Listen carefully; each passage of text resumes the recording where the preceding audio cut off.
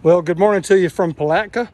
Uh, this is Art. I'm here at the uh, Boathouse Marina, our home port. And as you can uh, probably see, we have an ugly day here. And uh, it's a rainy day. However, the weather's supposed to turn tomorrow.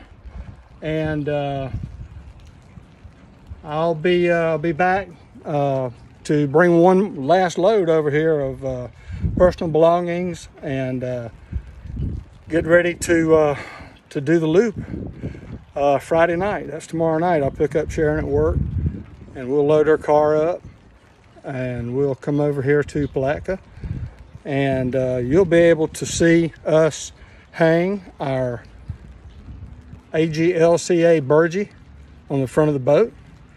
And we'll record us uh, leaving the dock, casting off, and taking our lines with us.